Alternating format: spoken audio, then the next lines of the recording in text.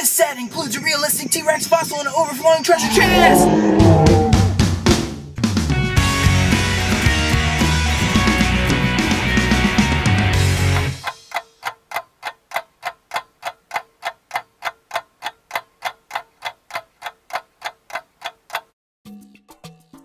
Two thousand and three saw the reintroduction of Stepney.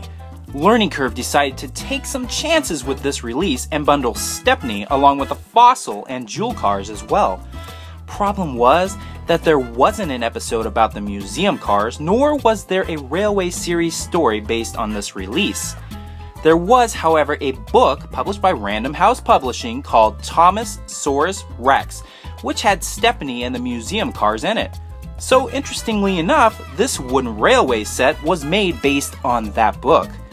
I can't say I admire the new look of Stepney. They really changed the look of Stepney's face, and the new funnel and dome, they're completely made out of plastic. Stepney and the museum cars was retired in 2005. This pack is considered moderately rare, and if you're a collector of the Thomas Wooden Railway, I would highly recommend it. Please subscribe and stay tuned for more 60 second reviews to come.